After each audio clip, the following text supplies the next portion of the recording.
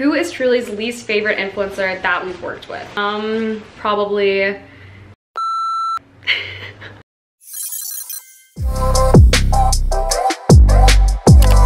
Hi guys, what's up? Welcome back to Truly YouTube. My name is Zara and today I'm giving you guys answers to your juiciest questions.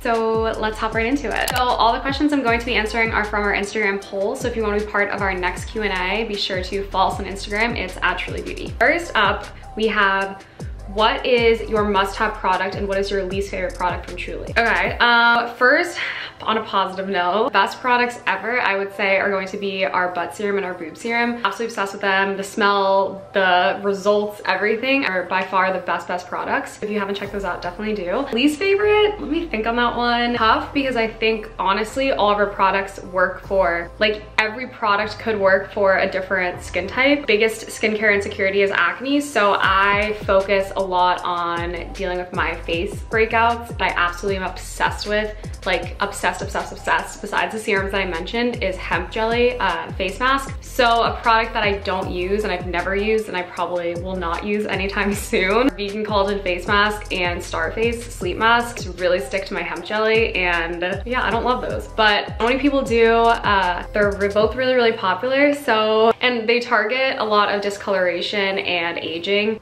really wonderful products, not my jam. Next up we have, whew, this is a, a juicy one. Who is Truly's least favorite influencer that we've worked with? Um, we definitely have one. I would say personally for me, it's probably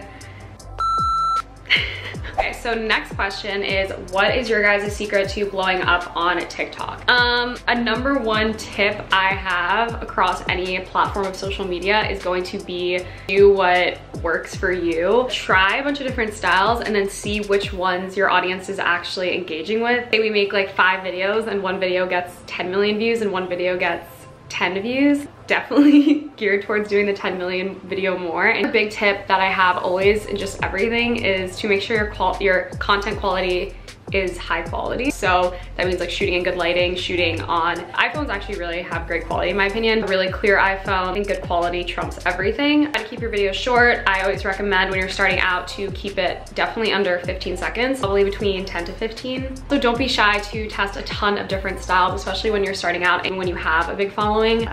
There's literally limitless ways, in my opinion, to blow up on TikTok. Question we have is, do you guys actually read your DMs? Yes, 10,000%. Read them and check them every single day. I'm always looking at them. I feel like probably the best way to like reach out to anyone like on our social platforms or like always on our phones obviously but for some reason I feel like Instagram's just so much easier. So we always check Instagram DMs, what's the point? And we also always try to answer every single one of them in at least like 24 hours. So yeah. Always feel free to DM us with product questions or thoughts, I don't know, anything you wanna say. What is a secret product that is coming out? Any secret products coming out this summer? Um, yes and yes, I will give you guys a little preview here of some products that we are launching. So many good ones, so, so, so excited and a lot of these will be coming out this summer or maybe right after. Stay tuned. What is a product launch that you guys regret? Um, I don't have any specifically. A lot of them, sometimes you look back and you think we could have done it slightly differently. I personally don't think there's been one product that we've like regretted coming out with. I don't know, you guys tell me, is there a product that you guys didn't like. So another question that we get all the time, which I thought I would answer is, does the Acai Your Boobies make your boobs grow? So no, literally not at all. It works to tighten the skin and that can lead to a lifting effect, which some people feel like their bras are more full and that their chest is more lifted, which creates an appearance of a bigger chest. It's not growing your actual boobs. Sorry to burst your bubble if that's what you thought. Okay, so the next question we have is, what is it like really working for Truly? How long have you worked there? So I've worked here for probably, I'm coming up on a year, not a year yet.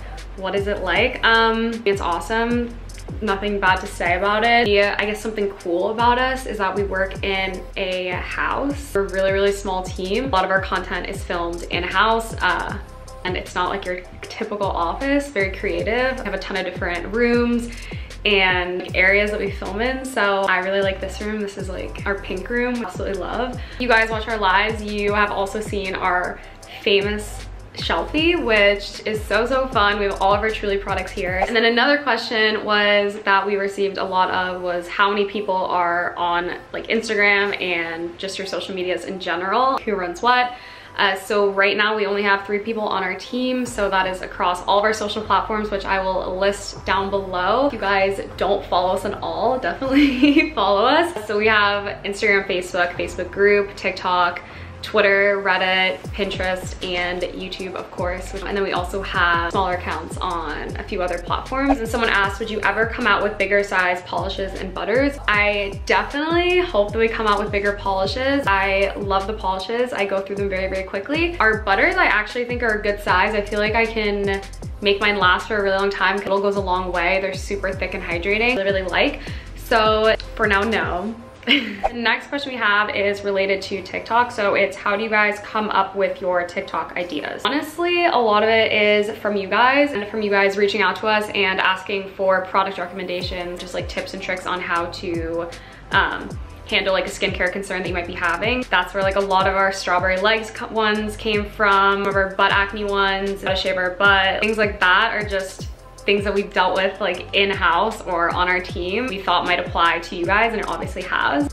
I think just being like really authentic and connecting with the community and helping content ideas based on feedback that we receive from you guys has worked the best for us and that's really where we get most of our ideas. Someone asked, how do you guys deal with hate? I mean, I think we just try not to take it too personally. Obviously, constructive feedback is totally welcome and we love hearing what's working, what's not working. At the end of the day, uh, try to always, in anything in life, try to understand where the person's coming from. Okay, so question is a lot. Let me find it. You guys blocked by anyone on your social channels. This one I think was talking about Instagram specifically. Yeah, I definitely think we are. That's okay. I can tell you who, but yes. There was a question that was, are you guys coming out with any other acne patches? I love your star acne patches, but I don't really want to wear weed leaves on my face. Um, I can't relate, but yes, we're coming out with a ton of new ones. I'll flash them on the screen that I think you'll love. Okay guys, that is all for me. I hope you enjoyed this video and I got to answer some of your juicy questions. If you guys want to see another one in this video, comment, like, and tell me how much you liked it, and I'll be sure to make more. Okay, thank you for watching. Bye, guys.